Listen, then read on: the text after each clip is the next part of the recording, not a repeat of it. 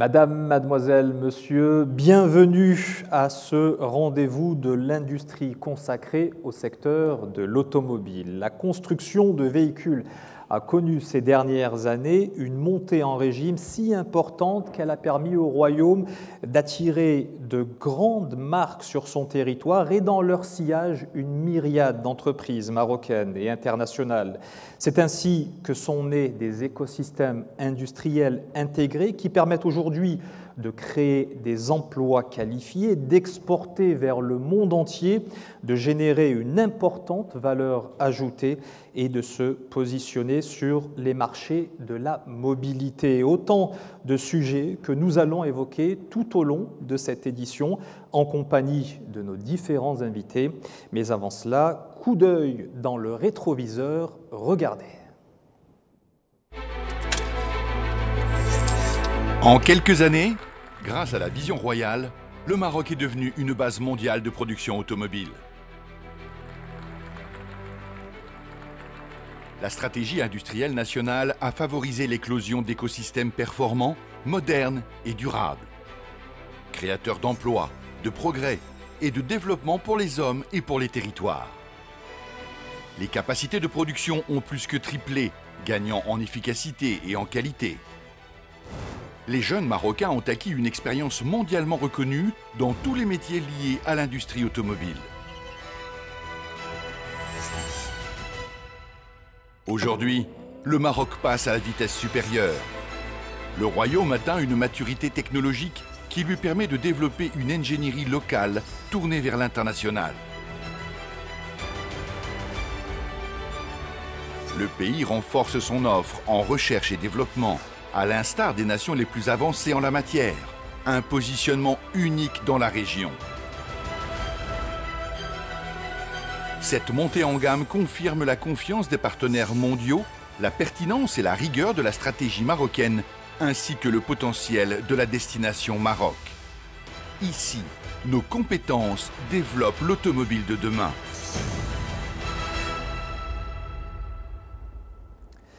Il faut dire que l'industrie automobile ne serait pas devenue l'un des principaux moteurs de l'économie marocaine si à l'origine il n'y avait pas eu la volonté, l'ambition et l'anticipation de Sa Majesté le roi Mohamed VI. On en parle tout de suite.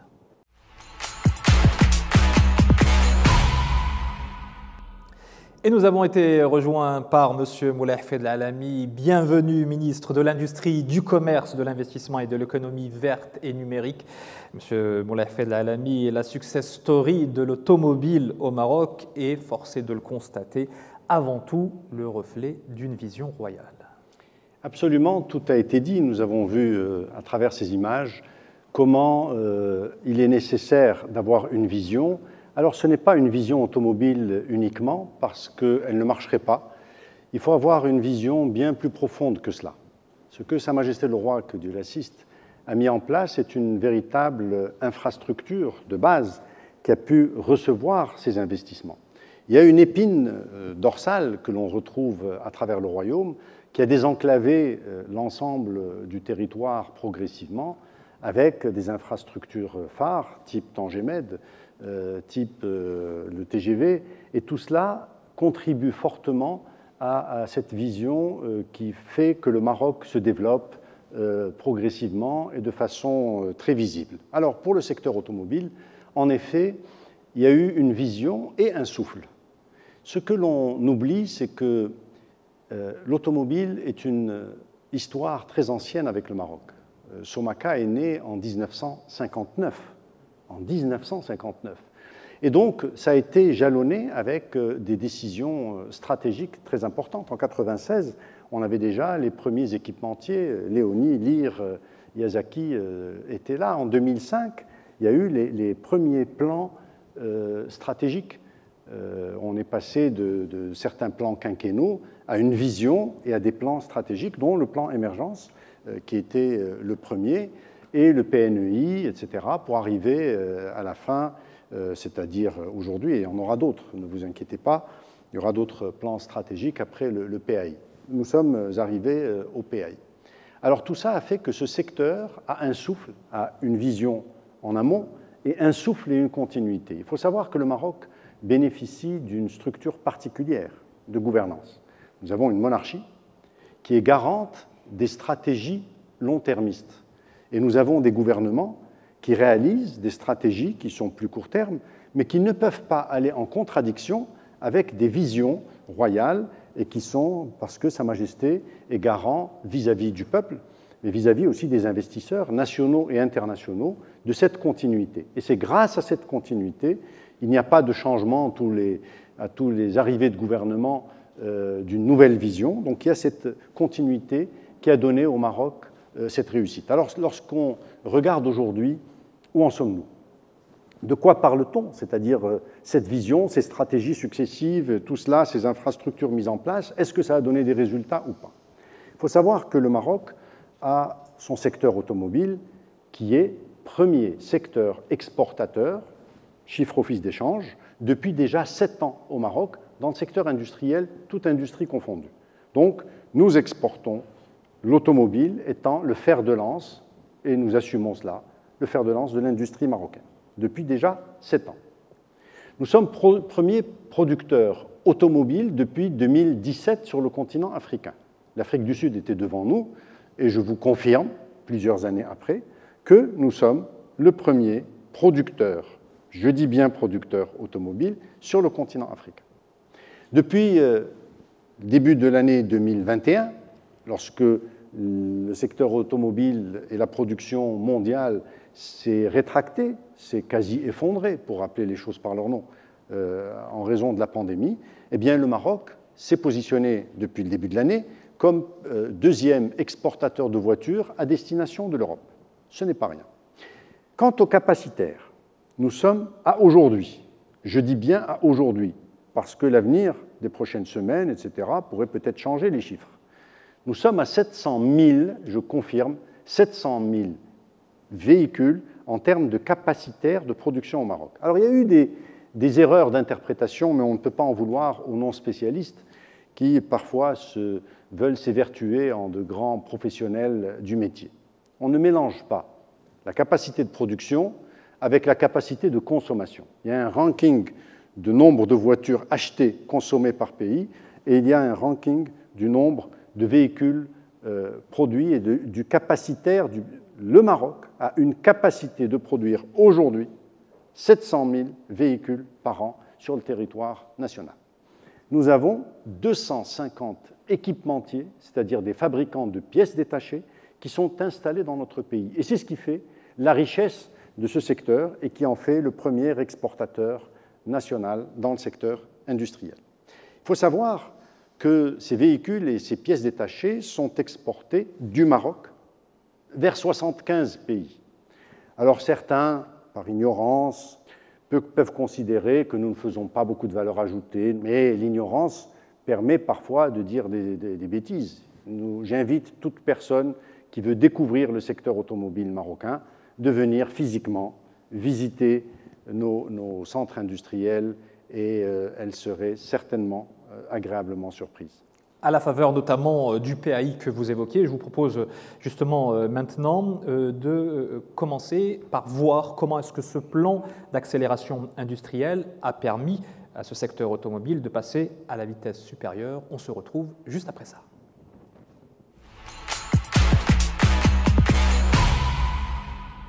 Alors nous avons été euh, rejoints par Hakim Abdelmoumen. Bienvenue, vous êtes président de l'amicale Association marocaine pour l'industrie et la construction automobile. À vos côtés, Alice Derri, bienvenue, directeur général de l'industrie au sein du ministère, et Kenzal Alaoui, bienvenue à vous également, directrice des industries de l'automobile. Mais je me retourne vers vous, euh, monsieur le ministre, puisque lorsqu'on évoque ce fameux plan d'accélération industrielle, ce PAU, euh, pour le secteur automobile, il y a un mot-clé qui revient systématiquement, c'est la notion d'écosystème. En quoi est-il aussi fondamental? Nous avons restructuré l'ensemble de l'industrie marocaine en écosystème. Euh, ce n'est pas une création marocaine. Nous avons observé ce qui se passait dans le monde et quelles étaient les réussites et nous nous sommes inspirés. Ces écosystèmes consistent à regarder un secteur dans son ensemble avec des locomotives au sein de l'écosystème et aux côtés de ces locomotives-là, une myriade de PME qui fournissent des pièces, qui fournissent des services à cette locomotive, et l'ensemble constitue l'écosystème. C'est ce qui fait que le taux d'intégration se développe. Lorsque vous avez un écosystème, eh bien, ce véhicule doit être construit, fabriqué, etc., au sein de cet écosystème. L'écosystème n'est pas spécifique uniquement au secteur automobile, il est plus largement appliqué au niveau du ministère à l'ensemble des secteurs industriels. Je me tourne vers vous euh, à présent, Hakim Abdelmoumen, président de, l'AMICA. Pour ce qui vous concerne, quels ont été, dans le cadre de ce PAI, les deux leviers euh, majeurs de ces dernières années pour le développement du secteur? Alors, le, plan d'accélération industrielle euh, a été représenté pour le secteur automobile marocain un tournant à plusieurs titres. en premier lieu, le plan d'accélération industrielle nous a permis de restructurer, de réorganiser la filière automobile marocaine en écosystème homogène, dit commodité automobile, en corrélation avec la vision du donneur d'ordre final qui est le constructeur automobile. Donc, on parle de commodité d'intérieur véhicule, de carrosserie, de powertrain. Suite à cela, un team Maroc, et ça c'est une expérience unique extraordinaire, composé d'acteurs publics et privés autour du secteur automobile, nous sommes descendus ensemble, je dis bien ensemble, sur le terrain pour identifier tous les besoins euh, des chaînons de valeur en horizontal, donc c'est-à-dire vers les constructeurs automobiles pour augmenter le taux d'intégration locale, et en profondeur pour identifier le besoin de valeur ajoutée. Et donc, nous avons agrégé ensemble ces besoins qui ont été transformés en opportunités d'investissement. Parallèlement, dans la mesure où nous étions partenariat public-privé, l'administration du tutelle, le ministère de l'Industrie, a accompagné de façon volontaire tous les besoins d'accompagnement qui sont identifiés en termes de compétences par filière, par métier, par région, en termes de soutien à l'investissement, en termes de foncier. Et le résultat était là, parce que les objectifs que nous étions assignés pour 2020, en termes d'exportation, d'investissement, de création d'emplois, ont été réalisés de manière anticipée en 2018 preuve que le travail sur les fondamentaux du secteur automobile ont été mis en place, nous avons connu les deux dernières années deux phases. Une phase Covid, confinement, et une phase post-Covid de relance. Alors figurez-vous qu'en plein confinement, preuve de la confiance des investisseurs, les investisseurs ont maintenu leurs investissements, leurs installations, leurs extensions de ville en plein confinement.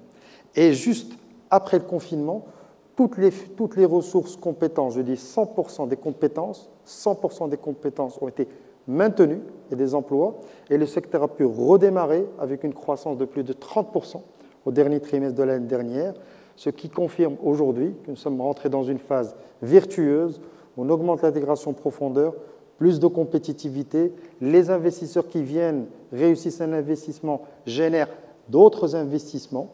Donc aujourd'hui, nous pouvons affirmer sans gêne que le Maroc se positionne comme étant une des plateformes les plus compétitives à l'échelle internationale. Et d'où l'importance effectivement de, ces écosystèmes évoqués un peu plus tôt par euh, Monsieur le ministre. Restons sur cette notion euh, d'écosystème avec vous, Alice Derry, directeur général de l'industrie. Concrètement, le secteur de l'automobile, comment est-il configuré? Bah, Écoutez, la, spécificité du, du, secteur automobile, c'est que c'est un secteur qui agrège énormément de métiers et de composants complexes. Donc la méthodologie qui consiste à structurer, organiser un secteur en écosystème performant est particulièrement pertinente pour le secteur automobile. Parce que vous avez besoin, comme l'a rappelé Monsieur le ministre, pour aller chercher de l'intégration locale, vous avez besoin de comprendre comment est organisé le secteur en détail. Ensuite, une fois qu'on a compris et identifié et séparé ces différents écosystèmes, il faut arriver avec des mesures spécifiques. Et la pertinence, encore une fois, de la structuration en écosystème pour le secteur automobile, elle se voit justement dans les mesures qui sont euh, établies en collaboration avec la fédération et euh, le secteur privé pour aller chercher les chaînons manquants à l'intérieur de ces écosystèmes. Parce que vous comprenez bien que euh, l'enjeu d'un écosystème qui serait par exemple l'intérieur véhicule, vous allez avoir un enjeu sur le textile technique, n'a rien à voir avec un écosystème qui est celui de la transmission, par exemple vous allez avoir des pièces usinées, assemblées, etc. Donc pour pouvoir être pertinent, pour pouvoir accompagner l'intégration de commodités, de nouveaux métiers, de nouveaux savoir-faire, vous devez rentrer à cette maille-là, qui est précise, pour arriver avec des solutions qui sont co-identifiées et qui vont nous permettre à la fin de rendre l'écosystème en soi plus performant et en bout de course, euh, l'ensemble de la supply chain performante. Et euh, on, a, on a fait cet exercice à la fois avec le métier, mais aussi avec les constructeurs, parce que les constructeurs en eux-mêmes sont des écosystèmes. Monsieur le ministre l'a rappelé tout à l'heure, ce sont des agrégateurs de métiers, de PME, d'équipementiers, et donc leur fonctionnement même nous permettait de travailler avec eux pour essayer de densifier, de rendre plus performants leurs écosystèmes existants. Et c'est ce qui vous permet, en bout de chaîne, d'avoir un taux d'intégration qui est aujourd'hui de plus de 60% euh, dans ce secteur. Sans ça, pas d'intégration locale. Sans compréhension des enjeux, pas d'intégration locale. Donc rapidement, on a euh, aujourd'hui près de 10 écosystèmes, et comme on l'a rappelé, on a des écosystèmes centrés sur les acteurs, les opérateurs, qui sont des agrégateurs de métiers et d'entreprises, et on a des, écosystèmes qui sont des écosystèmes métiers, qui sont, eux, centrés sur les savoir-faire et euh, les chaînons qui sont à ramener pour le rendre performant et essayer de le compléter au maximum un maillage particulièrement fin effectivement sur le secteur industriel qui fait la force de, ce PAI, ce PAI euh, dont les retombées euh, sur euh, le secteur automobile ont, permis d'être mesurées. Kenza Alaoui, vous êtes directrice des industries de l'automobile au sein du ministère. Concrètement, en chiffres, cela donne quoi? Le Royaume du Maroc s'affirme comme le leader africain de l'industrie automobile et le plan d'accélération industrielle, lancé en 2014 sous les hautes instructions de Sa Majesté le Roi, que Dieu l'assiste, enregistre des résultats remarquables, que je cite en quatre indicateurs. Le premier, l'emploi. Le secteur automobile a créé plus de 160 000 emplois sur la période 2014-2019 pour un objectif de création de 90 000 emplois, soit 180, plus de 180% Le deuxième indicateur, c'est la capacité de production. Monsieur le ministre l'a bien évoqué tout à l'heure. Euh, le Maroc dispose d'une capacité de production de 700 000 véhicules pour un objectif initial de 600 000 véhicules. On a nos deux constructeurs Renault et Stellantis. Renault, avec les deux usines de Tanger et de Somaka, dispose d'une capacité de production de 500 000 véhicules par an. Et euh, le groupe Stellantis, avec son usine de Kenitra, dispose d'un capacitaire de 200 000 véhicules par an. Le troisième indicateur est le chiffre d'affaires à l'export. Donc c'est l'export automobile qui a euh, évolué de manière significative durant ces dernières années et qui a enregistré en 2019 un chiffre d'affaires de 80 milliards de dirhams et en 2020 de 72 milliards de dirhams, ce qui montre la résilience du secteur durant une année marquée par la pandémie. Et le secteur est en bonne voie pour atteindre les 100 milliards. Je n'oublie pas le quatrième indicateur euh, où euh, on a les, voitures fabriquées au sein des usines des deux constructeurs, Renault et Stellantis. Ce sont des véhicules qui sortent des usines avec un taux d'intégration locale de 60%. Le bilan est vraiment positif. Absolument, on comprend bien que ce n'est pas du tout négligeable, surtout dans le contexte actuel. Monsieur le ministre, je me retourne vers vous. c'est très beau tout cela, effectivement. On produit, euh, on réalise ces véhicules, des pièces, on les exporte, mais après tout ça, qu'est-ce qui reste au Maroc? Il reste 31,7 milliards de dirhams de valeur ajoutée. Hein, sur les 80 milliards de dirhams que vous avez vus en 2019, il est resté 31,7 milliards. C'est colossal. Pour vous donner une idée, c'est une fois et demie la valeur ajoutée de l'OCP. Lorsqu'on fait 80 milliards de dirhams d'export, le commentaire euh, premier est de dire, eh bien, on boulonne tout ça, on importe des pièces, on les ramasse ensemble et on les réexporte. Dans le cas d'espèces, vous avez 31,7 milliards qui sont fabriqués au Maroc, qui sont d'origine marocaine. Ce chiffre a été challengé par le ministère des Finances, avec à la fois euh, la douane, qui était leader de ce projet-là, ce calcul sort de chez eux, euh, l'Office d'échange, et la Direction générale des impôts. Ils ont fait un travail euh, méticuleux, précis, euh, bon d'export par bon d'export, et évidemment en soustrayant tout ce qui était importation, vous avez une fois et demie l'OCP. Est-ce que quelqu'un imaginait qu'un jour, quelque chose puisse créer plus de valeur ajoutée que l'OCP ben Voici un secteur où le Maroc a commencé depuis 1959, sans relâche, à construire son secteur pierre par pierre, avec beaucoup de patience, en fermant les écoutilles et en traçant son chemin. Alors ce sont un petit peu de travail du public, beaucoup de travail du privé, de l'associatif, et avec deux locomotives fortes que sont Renault et Stellantis, avec à leur côté d'autres constructeurs qui achètent beaucoup de pièces au Maroc, type Ford pour ne pas les, citer, près d'un milliard d'euros par an d'achat de pièces au Maroc. Alors tout ça, la somme de tout ça constitue notre secteur euh, automobile, qui est un fer de lance euh, de l'économie marocaine et en particulier de l'industrie marocaine. Et vous m'avez euh, très gentiment tendu la perche, Monsieur le Ministre, puisque nous allons maintenant disséquer plus en détail cette mécanique bien huilée qui permet aux écosystèmes constructeurs de tracter l'ensemble du secteur. On en parle tout de suite.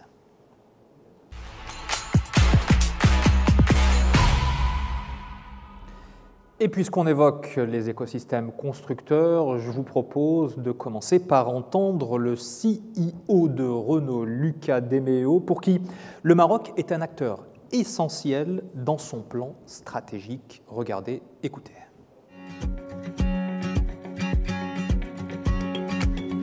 Bonjour, le Maroc est un partenaire historique de Renault Group. C'est un pays à haut potentiel qui est aujourd'hui dans le top 5 de nos pays industriels et dans le top 15 des ventes mondiales du groupe. Le Royaume est aussi clairement un des piliers de notre plan stratégique Renolution.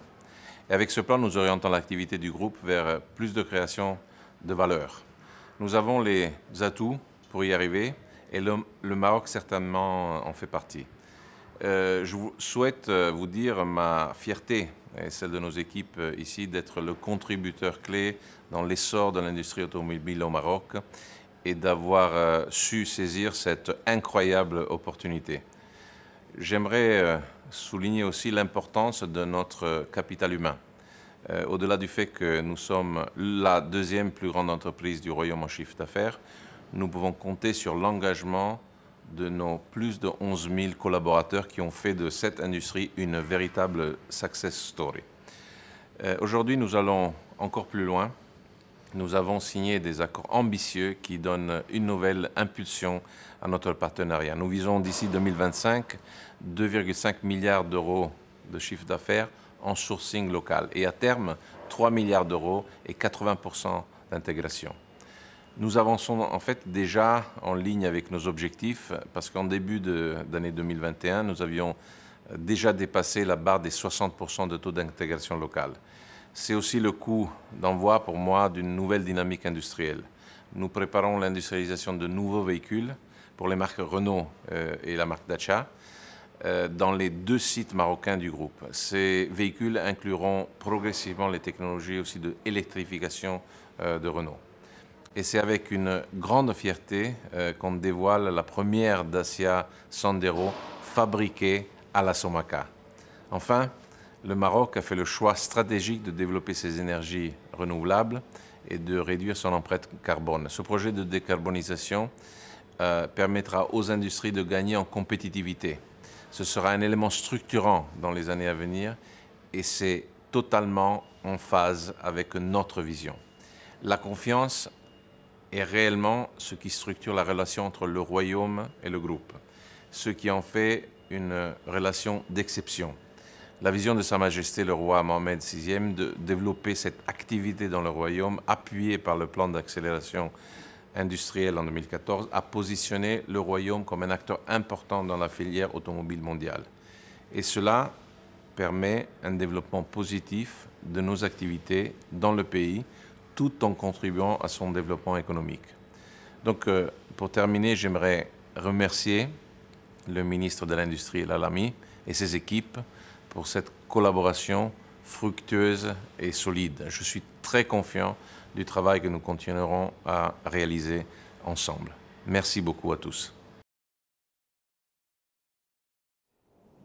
Et après le CEO du groupe Renault, nous avons été rejoints par le directeur général de Renault Maroc, Marc Nassif. Bienvenue à côté de vous, Zohra Samouh, directrice générale d'Afrique Câble, et à ma droite, Mustapha Al-Gharari, directeur général de Tuyoto. Marc Nassif, euh, rappelez-nous un petit peu quelles ont été les grandes réalisations de l'écosystème Renault au Maroc s'il fallait retracer les grandes étapes. Alors, beaucoup a été, dit. Hein. On voit L'automobile au Maroc, c'est une, une, longue histoire. Le groupe avec le royaume, c'est aussi une longue histoire, hein, c'est près de 60 ans.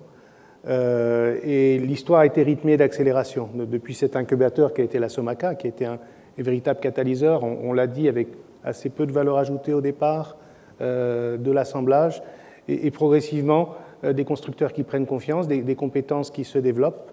Et puis dans les années 2000, le groupe reprend cette usine le fantastique Paris de 2007, cette usine de, de Tanger, qui, donne les résultats que nous voyons aujourd'hui. Et 2007, c'est l'année aussi où le royaume s'ouvre à l'extérieur, puisque c'est l'année symbolique où la, première Logan est exportée euh, du royaume. Donc on sort d'une industrie tournée vers l'intérieur, vers, sans, soupçonner la dimension qu'elle allait prendre, prendre aujourd'hui. 2016, on a vu les écosystèmes, une année extrêmement fondatrice, non seulement pour le groupe, mais pour l'ensemble des, l'ensemble des partenaires, avec un pari qui nous semblait fou. Monsieur le ministre, vous nous avez challengé. Euh, on va faire au moins 1,5 milliard, voire 2 milliards de chiffre d'affaires de, pièces que l'on achète. Hein. Là, il y a de la vraie valeur euh, au Maroc. Et puis l'aiguille de l'intégration locale, on va la faire passer de 40% euh, à 65, voire, voire plus. Et derrière, qu'est-ce qu'il y a? Il, y a, il, y a, il y a des partenaires, il y en a beaucoup qui sont là, il y a tout un écosystème. Donc c'est une équipe Maroc qui, qui gagne. Et qui donne des résultats. Alors le, pari qui a été pris pour 2023, on est en passe de le, de tenir. Hein. Nous étions avant le Covid à 1,3 milliard de, de chiffre d'affaires sourcé. Nous avons dépassé les 400 000 véhicules produits entre nos deux usines. Euh, le rêve devient réalité. Et derrière ça, euh, M. Deméo l'a dit, il y, a, plus de 11 000 collaborateurs qui sont extrêmement fiers de s'associer à ça. Et je pense que l'ensemble de l'écosystème, quand il voit la réalisation, est heureux de ce qui arrive et peut-être d'un futur encore glorieux que nous avons ensemble. Effectivement, 11 000 collaborateurs, euh, et votre CEO l'évoquait, vous accordez une place importante euh, à la formation euh, ici dans le Royaume. Parlez-nous un peu du rôle que jouent vos différents établissements et notamment ce fameux institut de formation au métier, de l'industrie automobile à Tanger. je, l'ai dit, nous avons la chance d'opérer depuis des décennies dans le Royaume. Nous avons des forces vives avec l'ensemble des métiers, toute la palette des métiers que constitue l'automobile. Si nous n'avions pas investi et développé ce, capital humain, nous n'en serions pas là. On a différentes écoles, il y en a une qui est très connue, hein, qui a été co-investie et qui est coopérée entre le Royaume et, Renault Group aujourd'hui, qui est le fameux IFMIA de Tanger, euh, qui au passage euh, dispense plus d'un tiers de ses formations à l'extérieur pour notre écosystème. On veut partager pour que l'écosystème grandisse. Nous avons aussi, créé il y a une dizaine d'années une école de management. On a, on a identifié cette, cette carence dans nos chaînes managériales. Donc, une école de management à, tous, les, tous les niveaux. Et euh, le commerce n'est pas en reste. Hein. Comment est-ce qu'on arrive à, tenir la dragée haute et rester avec nos deux marques Dacia et Renault le premier, le premier groupe? C'est également, en ayant lancé il y a quelques années, Renault Academy euh, pour l'ensemble des forces de vente. Donc c'est quelque chose qui est important pour nous. Euh, un petit mot sur le, le, climat social qui concourt à cela. Vous étiez présent, Monsieur le Ministre, en 2016, en 2018, plus récemment nous avons été parmi les premiers, en tout cas au niveau des grands groupes, à signer des conventions de partenariat, des conventions sociales avec notre, partenaire. Euh, ça dénote tout simplement euh, des équipes solidaires, mobilisées, sans concession pour traiter les sujets et euh, orientées vers une satisfaction de nos deux clients qui sont nos collaborateurs et, les clients qui achètent nos produits et nos services. Lucas Demeo a parlé de ce fameux plan stratégique euh, également, Renault Lution. Euh, comment est-ce qu'il va se décliner ici euh, dans le Royaume? Tout d'abord, ce plan, ce plan est un plan important, il, est, il était structurant, il, relance le groupe vers, vers le client, vers la génération de valeur, il est très centré sur les marques, il est très centré sur les, sur les territoires et bien évidemment au service du client. pour ce faire, le groupe va relancer un certain nombre euh, de, véhicules, euh, industrialiser de nouveaux modèles euh, dans, ces différents territoires et bien évidemment le Maroc qui, pèse, qui pèse dans le dispositif industriel du, groupe est au premier rang. Pour ce faire, nous allons nous appuyer sur nos, succès communs, le succès du premier écosystème hein, qui, est en train de délivrer toutes ces promesses. Nous venons d'en parler. Les promesses engagées en 2016 pour 2023 seront tenues et le groupe s'engage à aller encore plus loin et va euh, concrètement doubler euh, la génération d'activités dans le royaume, euh, doubler son chiffre d'affaires en passant très rapidement à terme du milliard 5 promis et qui sera obtenu à minima dès 2023 à 3 milliards à terme, avec une première étape importante qui va arriver très vite, 2025, 2,5 milliards. Donc c'est un plan qui va être porteur de valeur où le, Maroc, le groupe au Maroc va pouvoir contribuer de manière extrêmement forte et, l'alignement de nos objectifs communs va permettre d'apporter ce booster au service de l'activité, du développement des technologies et des compétences dont on parlait, mais également au service du développement international du groupe. Alors Marc Nassif, euh, cette augmentation du sourcing local, concrètement, comment va-t-elle s'accompagner? Nous allons clairement utiliser trois leviers. Le premier, c'est le levier que nous avons utilisé ces dernières années pour le premier écosystème. Il a délivré les résultats que nous connaissons en augmentant euh, l'intégration locale, le contenu des pièces et composants que nous achetons pour nos usines marocaines. Et de même que nous allons porter à 3 milliards ce, chiffre d'affaires, euh, nous allons cibler euh, à terme d'atteindre un, un, taux d'intégration locale de 80%, euh, qui est un taux, un, taux d'intégration locale. Ça, c'est le premier, le premier levier. Le, deuxième levier, c'est de pousser les feux sur l'exportation des pièces, qui est déjà un axe stratégique pour nous, vers l'Europe du Sud, vers d'autres continents où nos, plateformes sont déjà utilisées. Donc, du contenu pour nos usines, du contenu pour l'export. Et le troisième, c'est le, ticket technologique, c'est en profitant du plan Renolution et d'électrification qui va se réaliser dans le temps de nos gammes euh, de, nos gammes de véhicules, de nouveaux, produits, de ramener beaucoup plus de technologies, euh, des, commodités, différentes qui vont permettre de ramener euh, des fournisseurs qui n'existent pas aujourd'hui, de continuer à générer de la valeur et, comme on l'a vu, continuer à faire prospérer euh, notre écosystème de, fournisseurs et, automobiles de manière générale. Donc un plan qui est extrêmement engageant et extrêmement dynamique. Alors dans le cadre de cette dynamique, vous opérez euh, avec euh, des partenaires industriels comme Afrique Câble. Je me tourne vers sa directrice générale, Zora Samouh. Bienvenue. Alors en tant qu'opérateur marocain, quel créneau du secteur automobile vous occupez? Bien, euh, vous l'avez bien dit, euh, Africable est un acteur incontournable au niveau du secteur automobile, puisqu'elle fabrique euh, l'énergie de, la voiture. Nous fabriquons des batteries. Africable est une entreprise qui est très ancienne, elle a plus de 30 ans dans le secteur. Nos premières batteries ont été montées dans l'usine de Somaka en 1998. donc, depuis notre société a accompagné l'évolution du secteur. Il a investi énormément dans des nouvelles euh, euh, lignes de production euh, pour accompagner et le, besoin du marché en termes de batterie et en termes de technologie également. Donc on a été homologué par Renault en 2017. Donc nous sommes le fournisseur de premier rang pour les deux usines aujourd'hui, Renault et Tanger et Somaka. On se positionne également sur plusieurs secteurs qui est l'industrie qui la rechange. Donc nous fournissons le marché de l'aftermarket.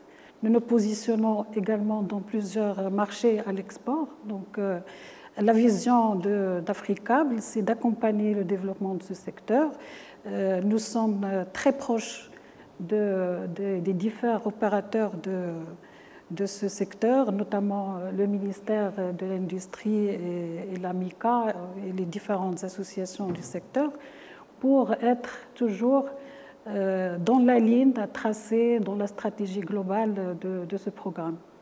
Alors, autre équipementier de taille à nos côtés, Tuyoto, représenté par son directeur général, Mustafa Al-Harari, bienvenue. Dites-nous, pour votre part, de quelle manière est-ce que ce plan d'accélération industrielle qu'on a évoqué vous a permis de vous positionner encore plus solidement dans ce secteur de l'automobile?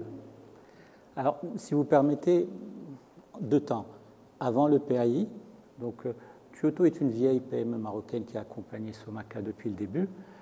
Euh, le, premier virage, ça a été Tanger. Et, on avait un historique euh, qui était satisfaisant avec Somaka et nous nous sommes aligné pour livrer, euh, pour être un, rang de, Renault à Tanger, ce qui était une ambition très importante à l'époque, vu la taille de l'entreprise. Et nous avons réussi, notamment, grâce euh, au soutien du ministère de l'Industrie, parce qu'à l'époque, il était difficile aux constructeurs d'imaginer qu'une PME marocaine puisse être rang 1. Donc malgré tous nos efforts, ils disaient oui, c'est très bien, mais vous serez rang 2. 2. Et grâce à un soutien décisif du ministère de l'Industrie, on a pu nous affranchir de ce, de ce mai et pouvoir travailler en direct avec Renault, une relation qui maintenant dure depuis dix ans et qui a été satisfaisante. Le PAI, par contre, a été décisif pour nous dans une seconde étape qui est venue en 2016 et, dans laquelle nous avons souhaité externaliser un, métier qu'on avait en interne mais qui était petit, c'est l'emboutissage et l'assemblage. Et on a pu convaincre un équipementier mondial de nous accompagner que parce qu'il a vu qu'au travers du, PAI et d'autres éléments, le, Maroc était vraiment un, paradis de l'investissement. Euh, on, a, on, a, on, a, travaillé donc là-dessus, on a développé euh, avec Stellantis d'abord, puis avec Renault ensuite, euh, un, site industriel de premier rang à Knetra. Et, bon, ce que je retiens là-dedans, c'est le témoignage de nos partenaires qui, au-delà, qui dans le PAI, mais au-delà de l'aspect incentives, qui est, un peu trop mis en, valeur, euh, apprécient particulièrement l'aspect formation.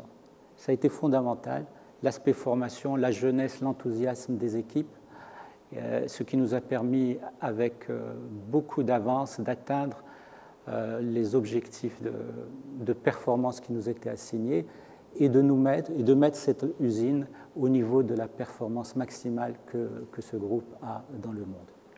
Monsieur le ministre, je vous vois euh, très attentif et écouter tous ces témoignages avec euh, beaucoup de satisfaction. Ce qu'on comprend également à travers ce qui a été dit, c'est que ce n'était pas gagné d'avance. Convaincre les grands constructeurs euh, de créer ces fameux écosystèmes avec des opérateurs marocains, une main-d'œuvre marocaine, des pièces 100% marocaines, finalement, Paris gagné. Mais écoutez, je, constate que ça n'a pas été si dur que ça. Euh, la capacité de notre jeunesse, de nos entrepreneurs, euh, ont été mises à l'épreuve il y a bien longtemps. Et nous n'avons fait qu'accompagner cette émergence. Hein. le ferment était là, tout était là.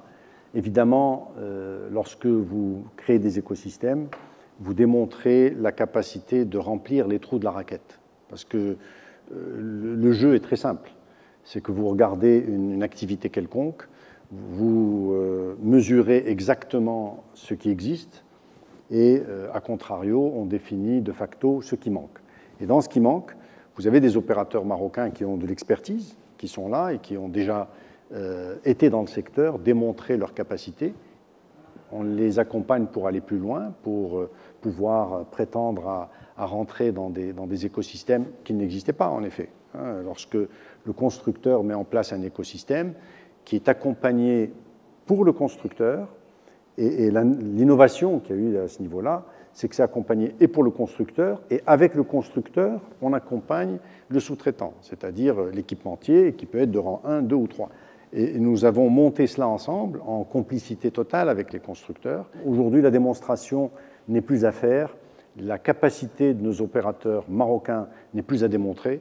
Euh, et la, présence de cette complicité entre les constructeurs, les, acquéreurs, hein, que ce soit d'autres qui ne sont pas constructeurs implantés au Maroc et qui achètent des pièces du Maroc, euh, ne cherchent plus à démontrer la qualité marocaine, la compétitivité marocaine. Alors tout ça euh, n'est pas grâce à nous, tout ça est grâce aux opérateurs qui se sont retroussés les manches, qui ont cru en cette démarche, et avec cette continuité de vision. Parce que vous ne construisez pas et vous ne construirez pas un secteur industriel automobile en quelques années. Ça se construit petit à petit, brique après brique, donc il faut de la patience. Et nous avons la chance d'avoir des opérateurs qui ont cette patience, des locomotives qui tirent et Sa Majesté qui veille au grain et qui donne les grandes orientations et qui veut avoir euh, des résultats précis dans chacun des secteurs. Voilà. Et vous l'évoquiez, euh, Monsieur le Ministre, toutes ces activités sont portées par des ressources humaines qualifiées et qui continuent également à se former au sein même des unités euh, de production, des compétences particulièrement jeunes, ça a été dit, et ambitieuses, comme vous allez tout de suite le constater. Regardez, écoutez. درت فابريكاسيون ميكانيك في مدينة خنيفرة. خديت البكالوريا ديالي في مدينة جديدة من بعد خديت لا ليسونس ديالي في طنجة درت فيها سبيسياليتي شيمي أنا من وجدة كان عندي ديبلوم جيستيون. أو ديبي ديماراج لا كارير ديالي خدمت لوجيستيك موراها دوزت لا برودكسيون موراها وليت تكنيسيان كاليتي كنت في الجروب في لو سيت ديال باري النهار جابوا لي الخبر بأن واحد لو سيت غيكون en construction في البلاد والديه المغرب جي تو سويت بوستولي باش نانتيغري هاد لو تشالنج التكوين ما كيحبسش من انك ملي كتاخذ ديبلوم لكن التكوين تيكون غادي معك ديما. الانسان يرسم المسار ديالو ويخدم عليه. الصناعه اليوم اليوم هي محرك أساسي ديال التنمية في المغرب. والحمد لله اليوم كنشوفوا في المدن مدينه طنجه مدينه القنيطره ومدينه الدار البيضاء وكافه المدن كنشوفوا شركات جداد اللي كيتحلوا يوم ورا يوم. كنشوفوا إن الكفاءات المغربية آه كتطور لي ماشين اللي كنخدموا بهم هنايا لو ماشين آه من احدث التكنولوجيات اللي كاينة. حتى لو برودوي ديالنا سي أول مرة كيتصنع في المغرب و اوني فيغ ديجا باش أننا نكون عندنا لو بروميي برودوي دو درايف لاين دو بي اس فابريكي أو ماروك ميد ان ماروك وما يقولوش اللي قراو أشنو داروا. لا ملي كنقراو وكنخدموا كنحطوا دي زوبجيكتيف في دماغنا كنوصلوا دونك كنصحهم بأنهم يقراو يقراو يقراو.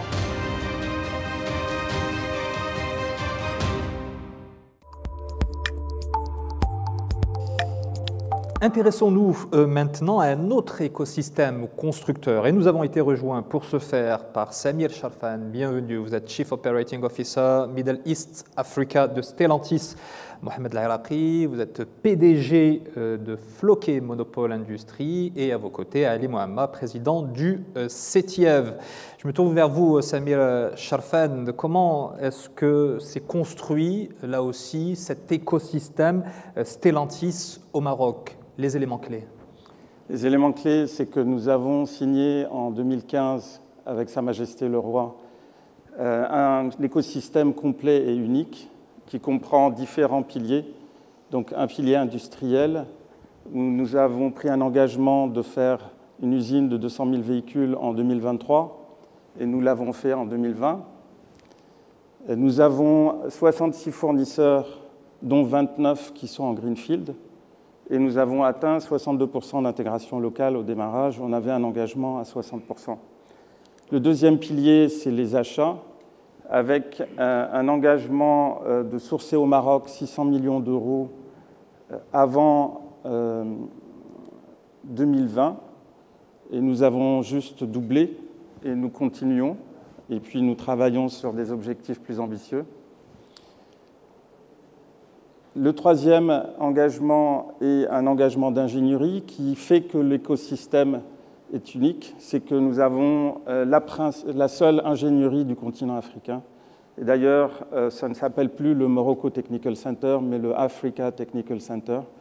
On avait un engagement d'avoir 1500 ingénieurs et techniciens, et nous sommes aujourd'hui sur le double aussi, sur euh, environ 3000 ingénieurs et techniciens, 1000 qui sont nos, effectifs et 2000 de nos partenaires.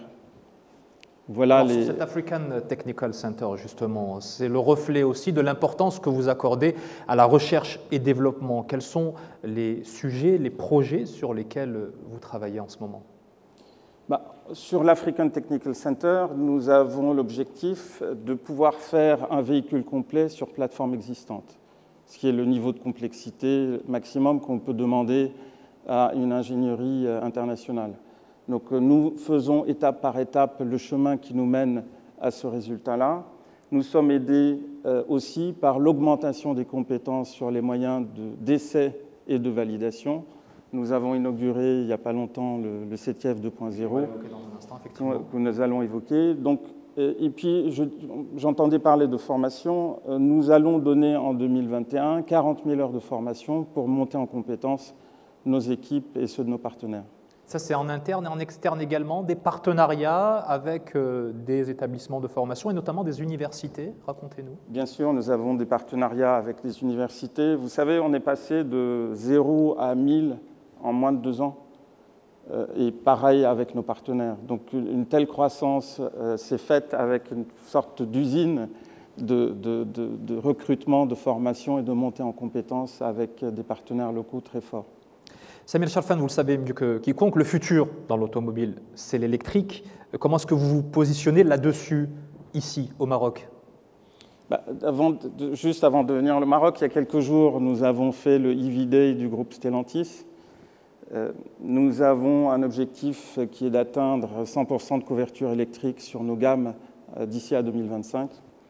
Donc au Maroc, euh, nous avons commencé à assembler l'AMI à l'usine de Kenitra. Ce n'était pas dans le contrat initial, c'est en plus. Et cet AMI a un grand succès. Nous avons aujourd'hui des projets complémentaires, mais que je ne peux pas annoncer dès maintenant. Mais nous travaillons sur des projets complémentaires euh, lié au succès de l'AMI qui est aujourd'hui assemblé à Kenitra. Donc de belles perspectives euh, d'avenir dans, ce créneau Croissance de, volume de fabrication et de diversité autour de ce concept, oui. Alors dans votre écosystème, celui de Stellantis, on, retrouve le groupe marocain Floquet Monopole Industrie. Mohamed Lairaqi, bienvenue. De nouveau, vous en êtes le président directeur général. Un mot d'abord sur votre cœur de métier. Alors, euh, le groupe Floquet Monopole, il a été créé en 1981, donc spécialisé dans la fabrication des pistons et chemises, donc des pièces moteurs, des pièces maîtresses du moteur, euh, sous licence euh, d'une multinationale américaine en 1982 qui avait démarré pour produire des pistons sous licence de cette marque.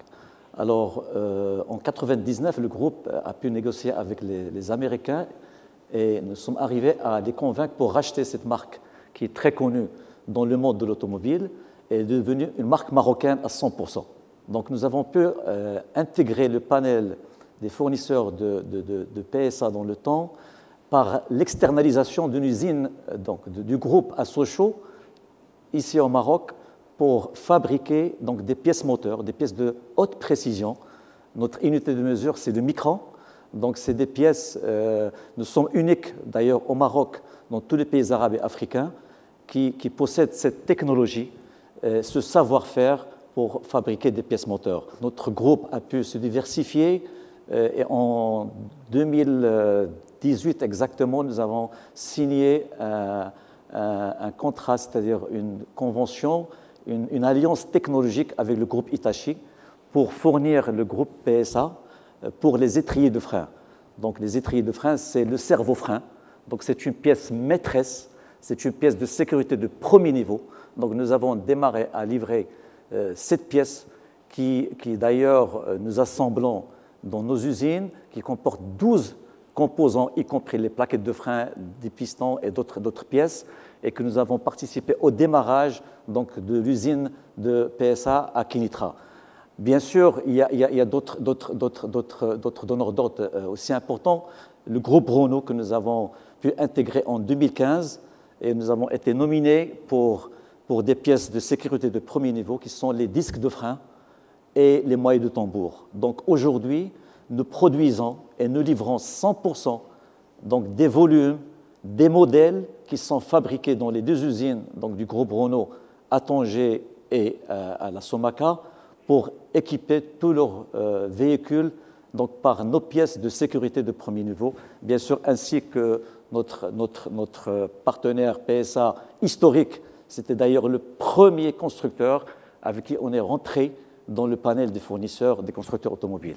Et on comprend à travers votre descriptif technique, parce que l'automobile c'est hyper technique, il faut un contrôle, c'est essentiel, d'où euh, la création, notamment euh, à Casablanca, du Centre technique des industries des équipements pour véhicules. Ali Mohammed, vous en êtes euh, le président, bienvenue. Quelles sont les caractéristiques de ce CETIEV En d'autres termes, à quoi il sert? Le rôle de CETIEV, c'est surtout le contrôle des pièces d'importation. Donc, nous avons au début de la création démarrer avec euh, le contrôle de ces pièces, donc notamment des pièces euh, de sécurité, tout ce qui est freinage, tout ce qui est euh, vitrage, batterie, plusieurs pièces. On a fait plusieurs validations avec les constructeurs. Renault, par exemple, on a été, on a validé plusieurs pièces de Renault. Nous faisons aussi de l'assistance technique en accompagnant des industriels pour la certification ISO 17025. Et en 2019, euh, un nouveau partenariat donc, a été signé entre l'État marocain et Stellantis et CETIEV pour la création d'un nouveau centre dédié aux activités MTC, Moroccan Technical Center, pour les activités recherche et développement.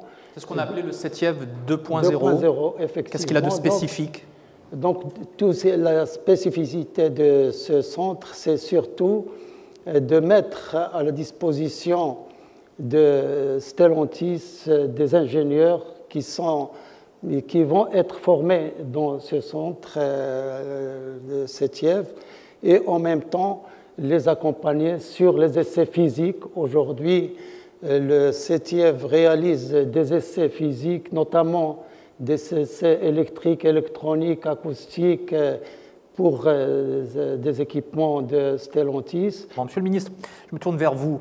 on entend à travers ces témoignages, alors on l'a dit tout à l'heure, on valorise le savoir-faire marocain, on le met à niveau pour pouvoir traiter avec de gros opérateurs, Stellantis, euh, Renault, mais on se rend compte que depuis le Maroc, on arrive également à capter de la technologie pour se positionner de manière encore plus forte sur la scène internationale. Alors je crois que nous vivons euh, une nouvelle étape euh, pour le secteur automobile. Nous sommes partis, nous arrivons de loin.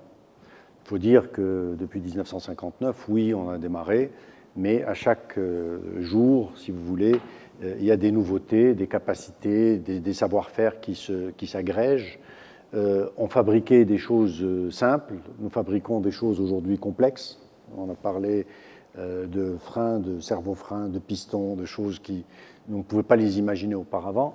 Le CTF fait un travail remarquable de contrôle et de surveillance. Nous avons un projet ensemble aussi qui est sur un circuit pour pouvoir faire des essais d'un certain niveau. Donc tout ça est en train de changer euh, fondamentalement. On ne pourra, comme M. Cherfin l'a dit euh, discrètement, je vais le redire discrètement aussi, nous avons des accords qui sont euh, en phase presque de réalisation, nous ne pourrons pas en parler aujourd'hui, mais nous sommes d'accord sur tout, n'est-ce pas? Et ce sont des changements qui vont transformer encore le secteur automobile au Maroc. À la fois avec Renault, et aussi et surtout euh, quelque chose de structurant avec Stellantis.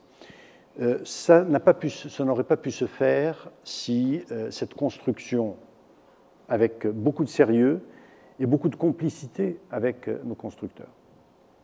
Stellantis a ouvert les livres et je dois leur rendre hommage de façon publique.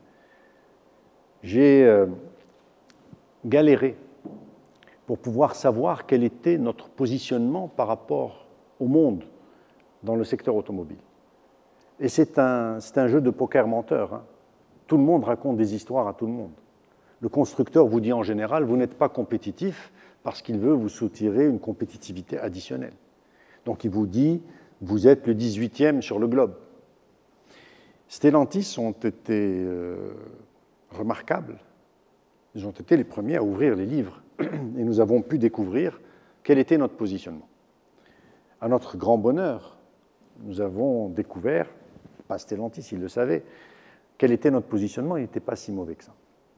Et nous avons travaillé ensemble sur la capacité de passer à une nouvelle étape. Oui, nous sommes bien positionnés derrière l'Inde et la Chine, par exemple.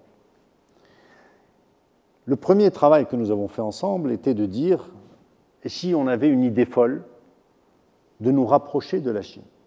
Et nous avons mis les équipes de part et d'autre pour essayer de nous rapprocher de la Chine. Malheureusement, nous nous sommes rapprochés, trop vite de la Chine en termes de compétitivité. Et on a eu un appétit grandissant. On n'a pas pu contrôler cela. Et ensemble, on s'est dit, on a dit aux équipes, on change de cible, ce n'est plus la compétitivité chinoise qu'il faut aller chercher, mais la compétitivité indienne, qui est le numéro un mondial. Nous avons réussi à faire des choses ensemble qui nous démontrent que la plateforme marocaine, grâce à ses constructeurs, grâce à ses 250 équipementiers aujourd'hui, grâce à cette dynamique qui a été créée, est en mesure de challenger le leader mondial en termes de compétitivité pour la fabrication de ces véhicules. Maintenant, pour le Maroc, c'est ça le challenge. Et ce que nous vivons aujourd'hui, la transformation, la nouvelle étape automobile, ce n'est plus de dire je fabrique un véhicule. OK, Le Maroc est capable de fabriquer un véhicule. OK, le Maroc fabrique un véhicule avec 62% de taux d'intégration. Mais est-ce que le Maroc s'en contente? La réponse est non. Sa Majesté veut faire aller chacun des secteurs beaucoup plus loin. Nous avions un objectif de 60%. Vous avez entendu ce que Stellantis a fait. Ils ont doublé les objectifs. Ils ont réduit de deux ans le délai de réalisation des 100 000 véhicules à Kenitra. Est-ce que vous pensez qu'avec un partenaire de cette qualité-là, qui a fait la maladresse de réaliser plus rapidement ses objectifs, ce n'est pas de ma faute. Voulez-vous qu'on reste, qu'on en reste là? Absolument pas. Donc ensemble, nous construisons l'avenir industriel du Maroc et l'avenir industriel de nos partenaires. Donc on, organise le, le système pour que tout le monde gagne. Si nos opérateurs économiques gagnent en termes de compétitivité, ils vont gagner des marchés. En gagnant des marchés, ils développent le business au Maroc, ils créent de l'emploi, ils payent de l'impôt. C'est tout ce que nous souhaitons au Maroc comme euh, qui puisse nous arriver pour les prochaines années. En tout cas, à date, ce qui a été démontré, c'est que les étapes, nous avons pu les, les, atteindre plus rapidement. Ce secteur emploie 200 000 personnes. Nous avons vu tout à l'heure que nous avons fait 180% en termes d'objectifs d'emploi dans ce secteur. Ça veut dire qu'il y a un intérêt. Nous exportons, donc la balance commerciale en profite. Je suis transparent. On ne bougera pas, nous non plus, en tant que Maroc, s'il n'y a pas d'intérêt pour le pays mais nous alignons nos intérêts avec les intérêts de nos opérateurs. Et à partir du moment où ces intérêts sont alignés, nous, nous avons besoin d'export pour faire améliorer notre balance commerciale, nous avons besoin de création d'emplois, nous avons besoin de faire travailler nos jeunes avec un certain niveau, mais toute la palette, du manœuvre jusqu'à l'ingénieur le plus, le plus sophistiqué. Et nous avons besoin à ce que des opérateurs marocains euh, intègrent et investissent le secteur davantage. Nous avons eu des précurseurs ici présents avec nous dans le secteur automobile. Je ne suis pas satisfait personnellement en termes de nombre d'opérateurs. J'en veux plus. Et quand on aura fini, j'en voudrais encore plus. On a besoin d'avoir des opérateurs plus importants. Et on a besoin d'avoir des constructeurs autres. On découvre qu'on se fait des amis avec des constructeurs. Avec Renault, avec Stellantis, mais ce n'est pas exclusif. L'amitié, elle est ouverte à tout le monde. Quand les gens sont de qualité, nous sommes preneurs. Et mon ami M. Cherfan est d'accord avec cela aussi. Il partage le fait qu'il n'y a pas d'exclusivité d'amitié, il est d'accord. Et cet appétit que vous euh, évoquez, euh, Monsieur le Ministre, eh bien, il se traduit auprès euh, de ces équipementiers étrangers. Nous allons les écouter. Ils nous disent leur intérêt pour le Maroc, à la faveur notamment de ses compétences de pointe dans ce secteur. Regardez, écoutez. On a un personnel extraordinaire, des ingénieurs, des cadres, des opérateurs qui font mon admiration. Ce qu'ils ont réussi à faire en un an est spectaculaire. C'est euh, un des projets les plus rapides qu'on ait mené entre la décision d'investir, la demande de permis de construire et la production en série, moins d'un an. Highly skilled and technical capability in the workforce here that is exactly what the high-tech and industrial company needs. We have uh, sent those people to other next year facilities for training, for development, and they can transfer what they learned into the operation. So that's really uh, an uh, advantage of Morocco. I think people uh, from Morocco, they are capable to understand uh, the spirit of Japanese monozukuri. Uh, they have a very high potential here. Nous avons trouvé ici une forte compétence et aussi une, envie de travailler des gens, pas seulement une main-d'œuvre, mais aussi ce qu'on appelle le middle management, c'est-à-dire les chefs de service, euh, les techniciens, les spécialistes, les ingénieurs. Tous ces gens-là, euh, nous avons pu les trouver, euh, nous avons pu former des équipes compétentes, ce qui fait qu'aujourd'hui, de deux entreprises, nous allons passer à cinq. Io credo che le basi delle risorse umane che ci sono qui in Marocco sono in grado di poter soddisfare le richieste che noi abbiamo bisogno per il futuro dell'industria marocchina. Monsieur Charfan, peut-être un, commentaire euh, par rapport à ce qui vient d'être dit de la part des équipementiers euh, étrangers et également de ce qu'a évoqué tout à l'heure Monsieur le ministre euh, un peu plus tôt. Oui, tout à fait. Le cœur de la performance marocaine, c'est une relation de confiance et le fait que le Maroc peut atteindre un niveau de compétitivité au meilleur niveau mondial. Et c'est ce que nous sommes en train de faire étape par étape. Cela passe par la mise en place de matières, d'équipements de, rang 2, l'augmentation de la profondeur d'intégration. Et les atouts que nous trouvons au Maroc nous permettent d'atteindre ces niveaux de performance. C'est ce que nous sommes en train de faire et c'est ce que les équipementiers trouvent au Maroc et font qu'ils se développent davantage au Maroc.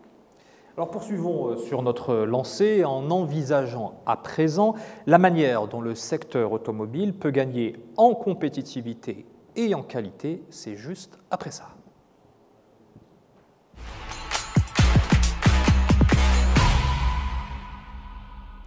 Et nous sommes maintenant en présence de Badr Lahmoudi. Bienvenue, vous êtes directeur général de Dicastal Maroc. À côté de vous, Ayoub Daoudi, directeur général de TE Connectivity North Africa. Et Fabrice Gomez, directeur général de ST Microelectronics. Mais avant de vous écouter, euh, messieurs, je me tourne une nouvelle fois vers Kenzal Alaoui. Euh, vous êtes la directrice, je le rappelle, des industries de l'automobile au sein du ministère. Vous œuvrez au sein de ce ministère justement pour une plus grande intégration de ce secteur. Concrètement, qu'est-ce que cela implique? Eh bien, le Royaume du Maroc ambitionne d'être le hub euh, le plus compétitif du monde. Et euh, pour cela, nous avons travaillé main dans la main avec les constructeurs et nous avons identifié deux volets importants pour cette compétitivité. Le premier, c'est l'intégration locale en profondeur. Nous avons décortiqué la chaîne de valeur automobile et nous avons détecté et identifié les chaînons manquants en profondeur jusqu'à la matière première. À titre d'exemple, le pare-brise automobile est fabriqué à base de verre appelé le flotte, qui lui-même est fabriqué à base de sable de silice. Nous avons travaillé depuis plusieurs mois avec les acteurs internationaux et nationaux pour consolider tous ces prérequis. La silice est présente au Maroc, et nous avons identifié tous les autres prérequis pour installer cette industrie. Un deuxième exemple, l'intérieur véhicule regroupe plusieurs pièces en plastique qui sont à base de polypropylène. Eh bien, nous avons travaillé pour intégrer l'industrie polypropylène au Maroc et l'investissement est bien confirmé. Le deuxième volet est l'énergie. L'énergie, on parle des matières premières qui sont très énergivores mais également l'énergie est un poste très consommateur chez nos industriels automobiles. Donc nous avons travaillé en étroite collaboration avec les constructeurs sur des écosystèmes verts qui seront dévoilés dans les prochains jours, prochaines semaines, où on a développé une offre d'énergie renouvelable très compétitive. C'est-à-dire avec des opérateurs privés, nous avons pu développer une offre d'énergie renouvelable qui peut aller jusqu'à moins 30% par rapport à l'énergie conventionnelle. Nous avons également travaillé avec nos partenaires publics, ministère de l'Énergie, ONE, pour rendre cette offre euh, possible et pour rendre l'accès accessible à tous les industriels du secteur. Avec ces deux piliers, le Maroc sera bien incontestablement une plateforme de production très compétitive et sera bien le hub de sourcing le plus compétitif du monde. Et cela doit vous parler, Badr Lahmoudi, vous êtes directeur général de Dicastal Maroc. Qu'est-ce qui vous a poussé, vous, en tant que groupe chinois, leader mondial, euh, faut-il le préciser, du moulage de jantes en aluminium pour le secteur automobile, à venir vous implanter ici au Maroc? Ben, Parlons de Dicastal C'est une entreprise qui fait des jantes en aluminium avec une capacité de production de 6 millions. Euh, par rapport à votre question, on va dire, sur euh, les, incitations, pourquoi on est aujourd'hui au Maroc, déjà Dicastal, il fait partie à la fois de l'initiative One Belt, One Road, donc euh, la route et la ceinture initiée par le gouvernement chinois, et le plan d'accélération industrielle au Maroc. Euh, les incitations, euh, il faut citer tout d'abord la vision euh, clairvoyante de Sa Majesté le roi Mohamed VI, que Dieu l'assiste, qui, a beaucoup inspiré ces investisseurs chinois à venir investir au Maroc une telle activité à la pointe de la technologie.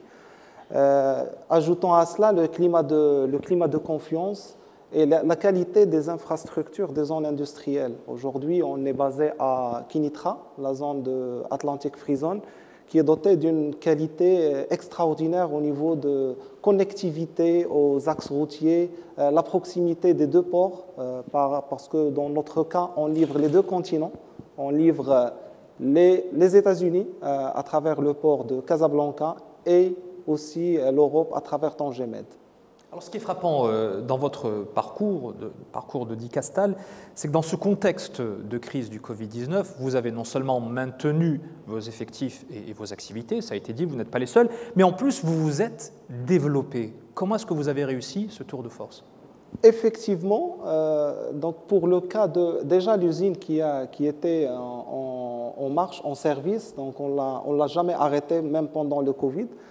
Euh, parce qu'on a bien profité de la diversité de, des clients qu'on a à Dicastal. Donc, comme j'ai dit tout à l'heure, euh, on livre des clients qui sont aux US et en Europe. D'accord? Donc, euh, on a basculé la production, ça dépend de la destination de, nos produits finaux. donc, on avait des, carnets de commandes de la part de, nos clients. On avait un engagement qu'on a pris avec le ministère de, l'Industrie pour sortir l'usine en fin 2020 et on l'a tenu. On a tenu euh, euh, cet engagement, bien sûr, avec l'aide du ministère aussi par rapport au fait de ramener des experts de l'étranger pendant la période du Covid, de la pandémie, ce n'était pas facile, mais on a réussi à le faire pour tenir notre engagement et démarrer notre usine à temps. et avec tout ça, ouvrir justement cette deuxième usine Exactement. Donc, au, moment de, la, de, la, période du Covid, on était en train même de doubler notre effectif. Donc on a passé de 700 euh, opérateurs, euh, toutes catégories confondues, ingénieurs, euh, cadres, techniciens, à 1400 pour démarrer la, deuxième usine en fin de 2020 qui, par l'occasion, tourne aujourd'hui à pleine capacité, en pleine cadence. L'horizon est dégagé pour l'avenir, pour ce qui vous concerne? Ben, Par rapport aux perspectives, je me permets de vous annoncer une, une, bonne nouvelle donc, qui est en phase de validation finale par rapport au layout et par rapport à l'implantation. Euh, comme vous le savez, Dicasta, il ne fait pas que des jantes en aluminium, mais on est le leader mondial des jantes en aluminium, mais on fait aussi des pièces pour le châssis et le moteur. Donc c'est de la euh, c'est de la fonderie en plus de l'usinage euh, avec euh, une technologie très, très poussée. Donc on vient de valider ce, projet, on vient de valider, même recevoir des, commandes de nos clients, des clients premium, des clients allemands, pour commencer à livrer à partir du Maroc, Inch'Allah, vers la fin de 2022. Donc ça sera une bonne chose pour, pour le secteur de l'automobile au Maroc, car il va euh, participer à l'augmentation de ce taux d'intégration, que ce soit en chiffre d'affaires ou en valeur ajoutée. Pourquoi valeur ajoutée? Parce que euh, Dicastal, quand il vient au Maroc, il vient avec toute la chaîne de valeur. Un opérateur, attends, répétez, parce que vous avez dit quelque chose qui, euh, qui passe comme ça, comme si c'était logique ou, ou qu'on avait l'habitude, mais répétez-moi ça. Un opérateur avec une main-d'œuvre marocaine qui livre des industriels allemands. Exactement. Donc on ne livre pas que des Allemands, mais on livre aussi. Euh, d'ailleurs, la première jante qu'on a produite sur cette usine, on l'avait livrée à General Motors, c'est aux États-Unis. Et même des Américains finalement, on en découvre des choses au cours de ce rendez-vous de l'industrie euh, consacré au secteur de l'automobile. Je me tourne vers vous euh, à présent, Ayoub Daoudi. Vous êtes directeur général de TE Connectivity North Africa, spécialiste du câblage automobile. Comment est-ce que les investissements que vous avez notamment réalisés ici dans le Royaume ont pu permettre et favoriser en profondeur l'intégration de votre segment alors, si vous permettez, peut-être quelques mots sur notre entreprise. Donc, Connectivity est un leader mondial dans le développement et la production des systèmes d'interconnexion et capteurs. Et euh, à ce titre, nos produits sont conçus pour, euh, pour connecter et protéger les flux de données, l'énergie et les signaux dans les véhicules, notamment dans les véhicules nouvelle génération, c'est-à-dire les véhicules électriques, les véhicules connectés. Et donc, euh, dans le cas du PAI, et, et grâce à ces mécanismes d'accompagnement, notre entreprise a, réalisé euh, sur les cinq dernières années de, forts investissements en capacité et en capacité, parce que le ministre a raison tout à l'heure d'insister sur l'aspect capacité, les capacités sont importantes, mais je pense qu'aujourd'hui on arrive à une étape dans, laquelle les capacités sont importantes aussi. Et donc euh, en, cinq ans, on a déjà créé ou, mis en place euh, trois unités industrielles hein, sur TFZ et la Tanger Automotive City. Euh, employant aujourd'hui 3000 personnes, mais pas seulement, parce que nous avons aussi investi dans des capacités d'engineering aujourd'hui avec un, un, centre engineering qui emploie une trentaine de personnes et, déjà au bout de deux ans qui a son actif déjà une douzaine de brevets marocains hein, donc, euh, et qui vont apporter un peu leur empreinte dans, les véhicules nouvelle génération.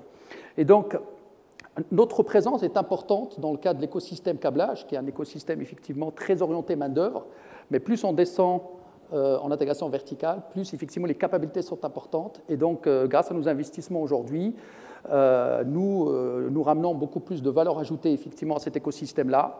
Nous créons plus d'emplois à forte valeur ajoutée, mais surtout nous apportons euh, un élément important au niveau de la, compétitivité de toute l'activité, effectivement, câblage au Maroc. Et comme vous le savez, c'est une activité très concurrentielle au niveau mondial. Et donc, avec de tels investissements, nous, participons à, garder et à améliorer la compétitivité, effectivement, de tout l'écosystème câblage pour le Maroc. Et vous apportez aussi de la notoriété, parce que c'est souvent un, segment euh, dont on parle comme ça au passage, mais on comprend à travers ce que vous faites à quel point c'est pointu et c'est essentiel dans, le secteur. En effet, en effet, parce que plus on descend effectivement en vertical, plus les capacités sont importantes au niveau technique et au niveau de, la valeur ajoutée créée, effectivement. Et donc, alors, comme je le disais, euh, et, Monsieur le ministre le signalait tout à l'heure, parce que l'écosystème câblage est un, un écosystème important dans la création des emplois il faut aussi savoir qu'on l'avait vu dans la cartographie, dans le, découpage, euh, dans le découpage et dans l'historique. Hein. donc euh, le, le, premier pas était autour du câblage, parce que c'est, et d'ailleurs c'est le cas dans tous les pays aujourd'hui qui sont arrivés à un niveau très avancé au niveau automobile.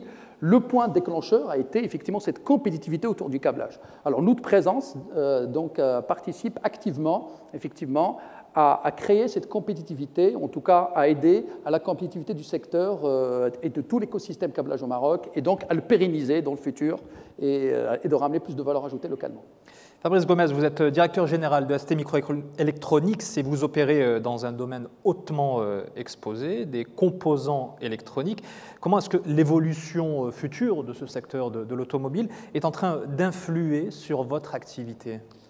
Alors, Monsieur le ministre parlait de l'industrie automobile présente au Maroc depuis de nombreuses années, ok mais l'industrie du semi-conducteur aussi, puisque l'entreprise ST Microelectronics, connue sous le nom de Thomson hein, depuis les années 60, est présente depuis de nombreuses années. Alors aujourd'hui, l'usine de Bouskoura, qui emploie 3000 personnes, hein, qui produit 10 millions de pièces par jour, a toujours été euh, fortement portée par le marché de l'automobile.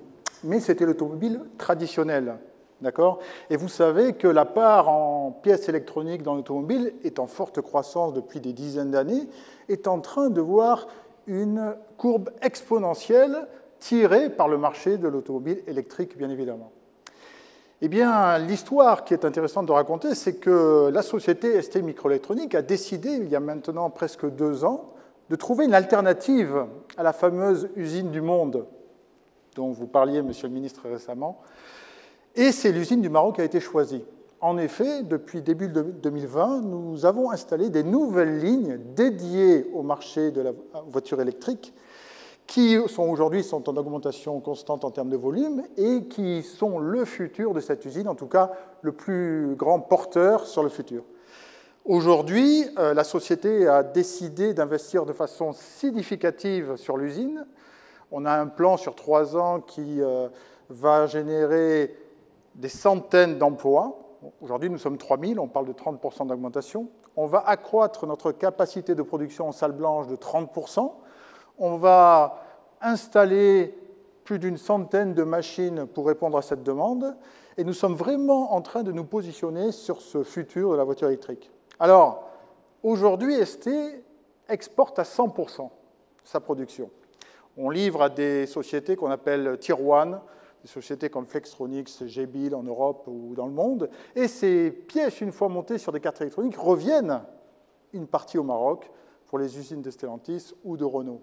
Donc, euh, moi, j'ai une vision. La vision, c'est quoi? C'est qu'un jour, la société ST Microélectronique, unique représentant du semi-conducteur au Maroc, livre directement les sociétés Stellantis, Renault et pourquoi pas d'autres, bien sûr, de façon à augmenter un peu la valeur ajoutée locale. Et ça, c'est possible si on travaille sur l'intégration, aussi bien verticale qu'horizontale, avec le support du ministère de l'Industrie, bien sûr, qui pourra porter cette usine sur un futur que vraiment aujourd'hui, ça fait dix ans que je suis au Maroc, est vraiment à un tournant, un futur vraiment extraordinaire pour, pour cette euh, société au Maroc. Monsieur le ministre, ça doit vous parler, tout cela. Euh, écosystème, oui. Compétition, compétitivité, oui. Mais intégration, avant tout. L'intégration est, un des axes euh, fondateurs du plan d'accélération industrielle. Et c'est vraiment dans ce sens-là que ça a, été, fait. Je suis ravi de voir euh, nos amis ici présents. Euh, je reviens sur, Dicastal et sa genèse. C'est parti d'une conférence en Allemagne où j'avais rencontré le président de, de Dicastal et je l'avais invité à venir visiter le Maroc. Et c'est parti de là, on en est à une usine du leader mondial de la, jante en aluminium. Ce qui est dit, pas dit, mais je vais le dire quand même, on n'est pas censé le dire hein, pour le projet, c'est l'usine a été doublée. Elle a été doublée pendant la pandémie. Et là, aujourd'hui, il y a une annonce d'autre chose, de la fonderie, qui est complètement différente de la fabrication des jantes, et qui va, euh, pour fabriquer des pièces euh, de, de châssis qui sont des pièces importantes dans le véhicule. Donc c'est un développement très fort qui est en train petit à petit de devenir un des premiers investissements industriels au Maroc, en termes de taille d'investissement. Lorsqu'on parle du câblage automobile, euh, je, voulais rebondir sur ce que vous dites et je partage totalement. On nous a souvent euh, critiqué en disant mais il faut des postes d'ingénieurs, etc., comme si au Maroc, on avait 36 millions d'ingénieurs. Non, au Maroc, nous avons de tout. Des gens qui sont capables de faire du câblage, du démarrage du câblage, jusqu'aux connecteurs les plus complexes. Et c'est cette intégration complète qui nous donne des chances pour tout, tout, Marocain de trouver un emploi, quelle que soit sa formation, avec une adaptation complémentaire. ST Microelectronics, c'est fantastique. On n'a pas le droit de dire ce qu'il ne faut pas dire, donc je vais dire ce qu'il ne faut pas dire, on est d'accord? Euh, je, vais, je vais être discret. Euh, vous fabriquez des pièces, comme c'est sous, sous sceau de la confidence, fabriquez des pièces stratégiques, importantes. Vous êtes tous en train de vous tourner graduellement vers le véhicule électrique. Vous fabriquez des pièces stratégiques de marques emblématiques que nous ne citerons pas aujourd'hui, parce qu'il y en a beaucoup. Hein. Euh, suivez mon regard. Mais, et donc, ceci fait du Maroc un, fabricant aujourd'hui de pièces essentielles dans la mobilité électrique, on en parlera tout à l'heure. C'est quelque chose de, fondamental dans le secteur automobile. Il s'oriente totalement vers la mobilité électrique et la mobilité verte. Ce que Kenza disait tout à l'heure, c'est essentiel de décarboner le secteur, de pouvoir aller plus loin.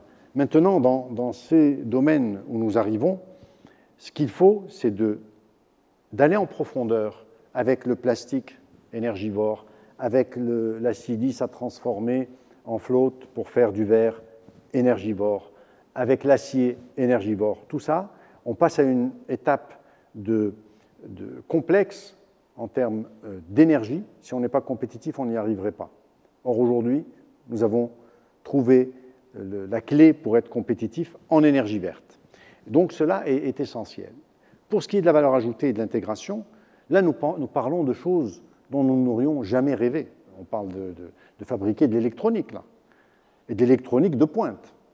On est passé dans de la connectivité, ça y est, c'est derrière nous, on a des connecteurs. Maintenant, on parle de composants électroniques qui vont dans les, dans les ordinateurs, dans les smartphones, etc.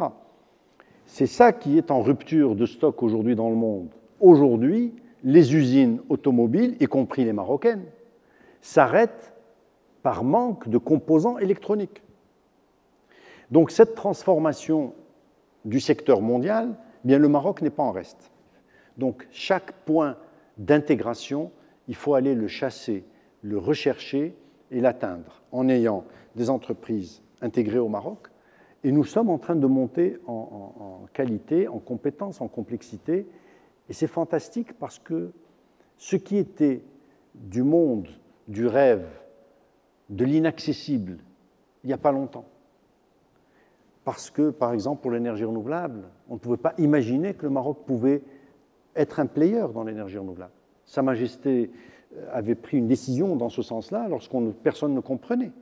Aujourd'hui, cette énergie renouvelable nous permet, parce qu'elle est disponible, et parce qu'elle est moins chère, parce que les, courbes se sont inversées, nous permet aujourd'hui de pouvoir l'utiliser et de réduire nos coûts.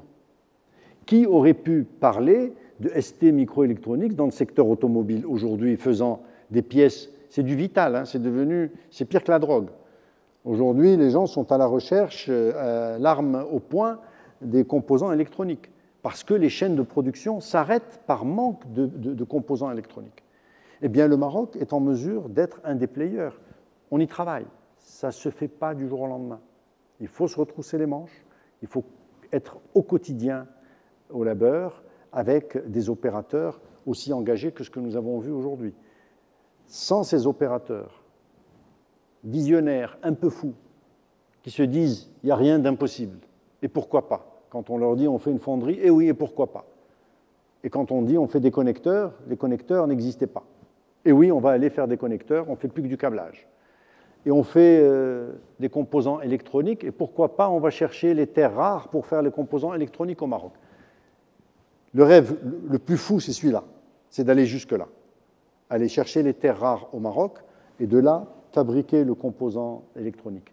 Eh bien, je ne peux pas être autre chose que ravi de voir que tout le monde y croit. Et chacun de nous, de par sa fenêtre, voit que le Maroc est en mesure d'aller plus loin. Et ce qui est fantastique, c'est que l'ambition est partagée. Fabrice Gomez, un mot à ce que vient de dire Monsieur le ministre. Oui, je voulais faire un commentaire supplémentaire, puisque Monsieur le ministre est aussi le ministre de l'économie verte. C'est que la société ST Microélectronique et son usine du Maroc est aujourd'hui et a annoncé que l'usine du Maroc est à aujourd'hui fournie à 50% en énergie renouvelable pour les besoins de son usine marocaine. C'est une somme colossale, on parle de 80 gigawattheures par an en termes de consommation. Et ceci grâce au parc éolien de Walidia, géré par la société Innovant, qui aujourd'hui fournit exclusivement l'usine du Maroc. Et c'est une fierté, parce que cette usine est à la pointe au niveau du groupe ST. Bien, puisque, messieurs, vous nous emmenez vers le futur, parlons tout de suite des enjeux d'avenir du secteur. C'est juste après ça.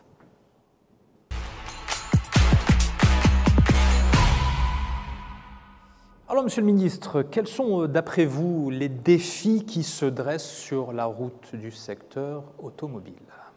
Alors, ce sont des défis, mais ce sont aussi surtout des opportunités. On parle du décarboné, c'est-à-dire qu'en branchant nos usines euh, du secteur automobile à l'énergie renouvelable, nos usines deviennent décarbonées, nos, produits, nos, nos véhicules deviennent décarbonés, et donc arrivent à rentrer sur le territoire européen sans taxe, dans les prochains mois, il y a la taxe carbone. Donc, c'est un défi, c'est un challenge, mais qui est extrêmement positif pour nous. Le deuxième élément, nous en avons parlé, c'est la compétitivité. Il faut absolument continuer en compétitivité et ne jamais s'arrêter. Ce n'est pas parce que nous sommes aujourd'hui catalogués en tant que troisième en termes de compétitivité qu'il faut euh, ralentir, euh, il faut accélérer, au contraire, essayer de rattraper les deux qui sont devant nous. Enfin, la mobilité euh, verte ou la mobilité électrique, elle est euh, aujourd'hui parmi nous. Ce qui était euh, programmé pour beaucoup plus tard devient de plus en plus présent. Plusieurs villes, grandes villes, grandes métropoles, interdisent avec des délais de plus en plus courts l'entrée des véhicules non, électriques dans, les, villes. Et puis, il faut regarder du côté du véhicule non pas que électrique, nous y sommes, par euh, Stellantis avec l'AMI et par euh, Renault avec les projets qui sont en cours. Donc nous sommes dedans, mais ce n'est pas suffisant. Je pense que le véhicule sera à la fois électrique et connecté. Donc il y a le spatial civil qui est aujourd'hui rentrant en jeu et euh, le Maroc a un rôle à jouer à ce niveau-là. Comme vous avez entendu, il y a des centres de recherche et développement dans le secteur automobile. Nous avons besoin, pour l'étape suivante, de rentrer dans, de la recherche et développement et euh, d'avoir euh, une position forte dans le spatial civil pour les véhicules connectés. C'est ma perception. Euh, elle n'est pas encore déclarée ni partagée, mais j'ose dans les prochains jours partager tout cela d'abord avec nos collaborateurs, le secteur, et voir si ça a un écho ou ça n'en a pas. Mais ma perception Voici des enjeux du secteur pour le Maroc. En tout cas, merci pour cette euh, primeur. On, vous retrouve, euh, Hakim Abdelmoumen, président euh, de, l'AMICA. Ce que l'on comprend, notamment à travers ce que dit Monsieur le ministre, c'est qu'il n'est pas du tout question de lever le pied de l'accélérateur, si j'ose dire. Alors, tout à fait. le secteur automobile mondial, avant cette période Covid, depuis quelques années, a engagé une transition technologique à deux niveaux. D'abord au niveau des process industriels, et nous, avons, nous réjouissons de la démarche engagée par le ministère du Commerce et de l'Industrie, qui s'articule à deux niveaux. D'abord la décarbonation, euh, qui est un process sur lequel la filière automobile au Maroc est déjà engagée. Le ministère du Commerce et de l'Industrie a mis en place un dispositif d'accompagnement et ça permet de réduire l'empreinte carbone et en parallèle réduire sa facture énergétique. Également les process industriels dits de 4.0, où nous avons aujourd'hui intégré comme axe majeur dans la commission compétitivité la transition technologique qui permet de digitaliser les process et augmenter la compétitivité des process industriels. Alors, il y a également l'évolution technologique au niveau du produit, qui est la voiture, et qui est un virage, comme vous le savez, fortement engagé. Donc, on passe d'un concept de voiture vers un concept de nouvelle mobilité, des durables, électriques hybrides, conduite autonome et véhicules connectés. Alors, pour ce faire, nous avons créé au sein de, euh, la filière automobile une commission immobilité qui regroupe les acteurs de l'ingénierie et de la conception-développement qui sont internationaux et également des acteurs locaux et qui travaillent en même temps avec des industriels sur les process industriels liés à la e-mobilité et renforcer le partenariat public-privé. La semaine dernière, il y a eu une signature d'une convention avec le ministère de l'Industrie et la filière automobile pour un transfert de gestion d'un centre de compétences au Maroc, à Kenitra, qui va être une plateforme qui va accueillir cette commission et faire le lien avec les universités et les centres de formation, car qui dit immobilité de demain, c'est préparer aujourd'hui au Maroc les compétences, ce capital humain qui va permettre d'accompagner ce virage technologique pour demain. Alors toutes euh, ces perspectives, c'est sans doute ce qui pousse les géants de l'automobile mondiale euh, à s'inscrire dans un partenariat durable avec le Maroc. Écoutez à ce propos le CEO de Stellantis, Carlos Tavares, et on se retrouve juste après. Mesdames et messieurs, bonjour. Je me suis encore de la cérémonie où en 2015, avec Sa Majesté, nous avons signé l'accord de coopération entre le Royaume du Maroc et le groupe PSA. C'était un moment structurant, un moment fondateur. Depuis ce jour, avec le ministre El Alami, nous avons parcouru un très beau chemin, que nous continuons d'ailleurs aujourd'hui à parcourir. Un chemin de collaboration, un chemin de développement, de développement euh, du tissu automobile euh, au Maroc avec notre usine de Kenitra, mais surtout l'ensemble des fournisseurs qui nous accompagnent pour produire la magnifique Peugeot 208 euh, dans cette usine. Nous avons travaillé très intensément pour développer le tissu fournisseur, pour faire en sorte que la valeur ajoutée, la technologie nécessaire pour ce magnifique véhicule soit présente au Royaume du Maroc. Et je peux dire que les résultats que nous obtenons aujourd'hui, à la fois dans notre usine, mais grâce aussi à l'ensemble de nos partenaires et nos fournisseurs, le résultat est à la hauteur des attentes. Nous savons que notre industrie est extrêmement compétitive, que jamais nous ne pouvons arrêter de travailler pour améliorer la qualité, pour réduire les coûts, pour être au rendez-vous de la fourniture des pièces au bon moment dans l'usine. Mais je peux ici attester du fait que ce travail profond, ce travail intense que nous avons développé avec le ministre El Alami, il produit ses effets. Nous sommes en, en mouvement, nous sommes en train d'avancer vers l'avenir. Je veux ici simplement exprimer la satisfaction de ce qui est maintenant le groupe Stellantis, puisque comme vous le savez, depuis PSA a aussi traversé des moments structurants avec sa fusion avec le groupe FCA. Voilà ce que je voulais témoigner aujourd'hui auprès de vous. Monsieur le ministre, euh, le mot de la fin, c'est à vous qu'il revient. Lorsqu'on entend le patron de Stellantis, cela donne bien sûr des raisons de rester optimiste, mais cela fait peser aussi une lourde responsabilité sur les épaules des différents acteurs du secteur au Maroc. Comment est-ce qu'on concilie ambition et réalisme dans un contexte aussi mouvementé que celui dans lequel on se trouve? Je pense euh, en toute clarté que la réussite du secteur automobile est incontestable et incontesté au Maroc. Vous avez des témoignages. Euh, M. Tavares est aussi par ailleurs président de la Fédération des constructeurs automobiles européens. Donc c'est vous dire sa connaissance euh, euh, du secteur. Notre taux d'intégration a été clairement défini, tout le monde le connaît aujourd'hui. La compétitivité marocaine et la qualité marocaine de nos ressources, de nos produits réalisés ne sont plus à discuter. Pour moi, tout cela est derrière nous. Tout ça est derrière nous. Euh, ce qui est important, c'est de regarder l'avenir. Ce que l'on constate, c'est que les perspectives sont très sincèrement incroyables. Alors, que faut-il faire? La feuille de route est tracée, nous l'avons construite ensemble, avec les opérateurs, avec les constructeurs, avec des vrais professionnels qui savent de quoi ils parlent. Nous avons besoin de continuer notre trajectoire telle qu'elle a été construite. Et comme je vous dis, nous avons une histoire automobile au Maroc. Ça ne vient pas d'hier. Nous avons construit pas à pas ce à quoi nous sommes arrivés. Et les perspectives sont invraisemblables. Nous sommes partis. Le Maroc, dans le secteur automobile, s'est envolé. Ce secteur est sous l'œil vigilant de Sa Majesté. Il en fait une des priorités industrielles du Maroc. Il surveille l'ensemble des opérations. Donc ce que nous avons tracé sous ces hautes orientations ne pourra pas, ne vous inquiétez pas. Il n'y a personne qui pourra changer la stratégie marocaine, ni à l'extérieur, ni à l'intérieur. Donc le secteur automobile est sur les rails. Aujourd'hui, il ne changera pas de trajectoire et sa trajectoire est, à mes yeux, de ce que je vois de ma fenêtre, invraisemblable. Donc, permettez-moi de me réjouir de voir, un, où nous sommes arrivés.